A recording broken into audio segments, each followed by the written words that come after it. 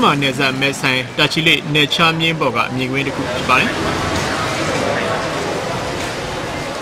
မဲဆိုင်ဘက်ကန်းကအဆောက်အဦတွေကြီးကျယ်ခမ်းနားသလောက်တာချီလိဘက်ကအဆောက်အဦတွေမတမနာဖြစ်နေတာကိုတွေ့နိုင်တယ်လို့ဟိုဘက်ဒီဘက်ပူလူသွာလာနေသူတွေရဲ့ကြွာချချက်ကိုလည်းသတိထားမိကြမှာပါ immigration case ပါဒီပါတမ်တူစန်ဒေးတနင်္ဂနွေအခုလိုရုပ်ပေးရတွေမှာတရက်စာအတွက်ဘတ်30ပေးပြီး တချီလေးဖက်အလဲသွားတဲ့ထိုင်းလူမျိုးအများအပြားကိုတွေ့ရပေမဲ့မြန်မာငွေ900ပေးပြီးမဲဆိုင်ဖက်ကူးလာတဲ့တချီလေးဖက်ကမြန်မာတွေကတော့ပြင်းပြေအလဲလာတဲ့ပုံမျိုးဟုတ်ဖို့မရပါဘူး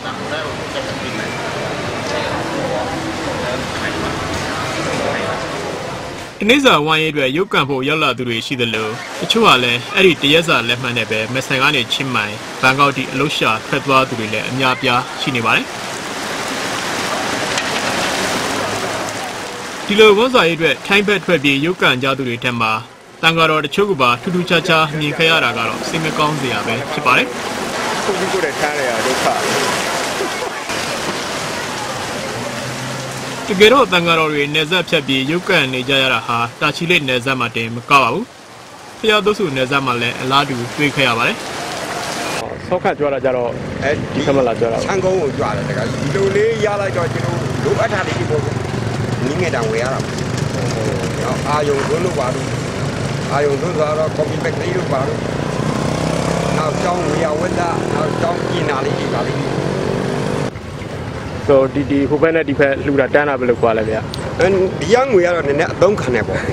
နည်းနည်းအသုံးခံတော့ဒီနေ့နည်းနည်းအဆင်ပြေတဲ့သဘောလေးပေါ့။ ဆရာတော်ကြီးမိကြားသွားခဲ့တယ်လို့ပါပဲအသုံးခံတဲ့ငွေတွေရနိုင်ဖို့အတွက်မြန်မာနိုင်ငံသားအများပြားဟာနေဆက်ကိုဖြတ်ပြီးထိုင်းနိုင်ငံထဲဝင်ရောက်အလုပ်ရှာဖွေနေတာအခုဆိုရင်လူဦးရေ2သန်းနီးပါးလောက်ရှိနေပြီလို့ထိုင်း NGO တွေကခန့်မှန်းထားပါတယ်။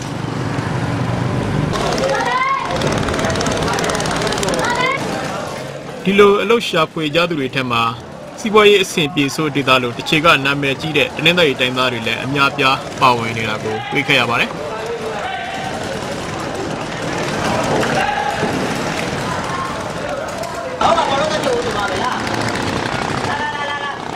နိုင်ငံတကာမှာဆိုရင်တော့ဒီလိုမျိုးပင်လယ်ဖြတ်ကူးရတဲ့နေဇက်ကိုခိမိသင်္ဘောတွေခိမိဇက်ကြီးတွေနဲ့တွားနေကြပြီးဖြစ်ပေမဲ့လည်းကောတောင်ရနောင်နေဇက်မှာတော့လူဆယ်ယောက်လောက်စီးရင်တော့ဟုတ်လို့ဒီလိုဖြစ်နေတဲ့ဖက်ချစ်ဆက်လှေလေးနဲ့တမန်ဦးခေတ်ကလိုတက်ဆော့ဆန်ဖျားတွားနေရဆဲဖြစ်ပါတယ်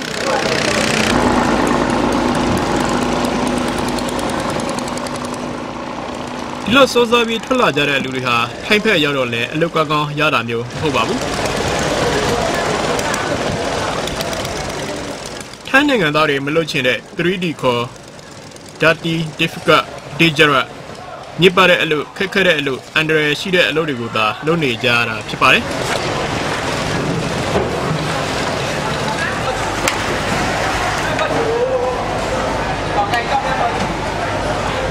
ဒီများနိုင်ငံသားတွေမလွတ်ချင်လို့ပြစ်ထားတဲ့ 3D အလုပ်ကမှကျွန်တော်တို့မြန်မာတွေဘာကြောင့်များအလူရဲ့တိုးဝှေ့ရှာဖွေနေရတာလဲ